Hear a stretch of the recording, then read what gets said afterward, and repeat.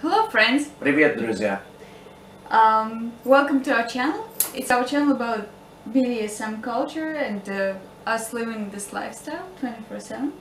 24-7. 24-7. Not just 5 days a week, 6 days a week. Seven days a week. 7 days a Continue. week. Anyway, and today our topic is my leash. Because uh, I wear it all the time. Mm, I take Not it off. the time. Well, almost all the time. Uh, I take it off like if I shower or go to sleep. But I wear it in the street, in public. Uh, I wear it in front of my parents. Um, There's always like- frequent comments on it. A lot of people want to try it on. a lot And, of people. and we have a whole folder of women who have tried on your leash. Yeah, some good photos. Uh, good times. Good, good times. Uh, But uh, some people avoid looking at it like hmm, They don't see it. going on They in the room. You know, and have no idea there's a woman wearing a leash in the room. yeah, and like they will come on my shoes. Wonderful eyes you have. yeah, That's beautiful lovely. eyes. Uh, but not on the leash. And um, why do I wear it? Yes, do why, uh, why do you wear uh, Well, in one sense, it's like a, you know, the wedding ring doesn't mean, wedding ring doesn't mean shit anymore. Yeah, and Right, we're married by the way. So, so in, in, in one way, it's a sim- symbol of our, uh, and you know, I, you're leashed, but I'm leashed to you. hmm So Right, uh, he's on the other end of the leash. So there's a symbolic that people actually read. They ca- actually get that those people are kind of close. Yeah, and if you think Right. about it, before the wedding ring, they used to be leashes too. So it's like they transformed the leash into the wedding ring, and then we brought it back. So it's a symbol of bondage in one way. But there's also, you know, other people also read the kinky part of it, hmm which we're very kinky people and we're into all kinds of uh, crazy monkey sex. Yeah, and it brings me uh, pleasure to think that uh, like I'm uh, his property and he takes care of me and uh, mm, treasures me. Uh, But I, I, I do treasure her, and uh, part of the fun of the relationship is sexual, Yes. and this and uh, there, there's a, and the fact and, and we're I would say we're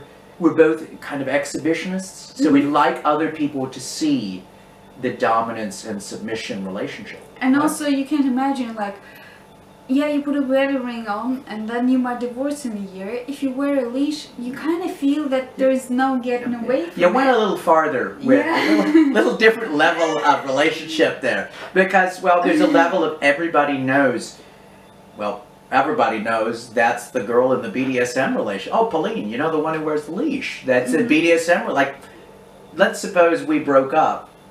Uh, where's your, where are you going to find a boyfriend? Like, you know, the. There is no. Yeah, Like, so there's no going, it's a permanent bond. Like, you're Mhm. never. and that forces you like to tie yourself to each other, and that deepens the relationship, and you Oh, feel that yeah. you're in one boat, and you're just you're going one way uh, together, or you just sink. the genius of a relationship that cannot be dissolved is that you have to work out shit you know? I mm-hmm. hate your stinky shoes but i can't get rid of you because of that. So you know when a relationship is permanent and the symbolism it's like really impossible to go back once you've taken this step you're forced to work out your problems whether you want to or not and there's no avoiding them because you're stuck with this person for life hmm and I think that's the key. Like our codependency is the key to our survival as a couple, and, And why we're say- so close. I'd say for a woman that would be a great feeling of safety because all women are always terrified that their man leaves them because they don't well they don't do it right. Well, and I can say, as a man, I, I mean, there are a lot of men who are dickheads, but some men, myself included, like that sensation of responsibility. Mm-hmm. Because it, I, I I have the propensity to be sex, drug, drugs, and rock and roll, and very, very irresponsible. And like the idea that someone's life is in your hands, if you're not a complete cocksucker, you take a little more care and say, maybe I shouldn't do that. Maybe I ought to watch and take, be a little more careful with it, right? So, you know, and I enjoy that sense of responsibility, right? And, and I think a lot of men would actually, if they were taught right.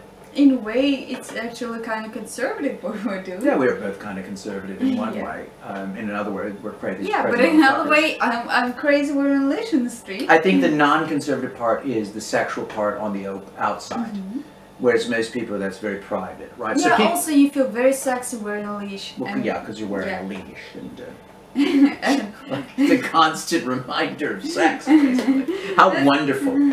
And the aesthetic, the aesthetic is very, very uh, Yes, because overpoweringly sexual. I'd say.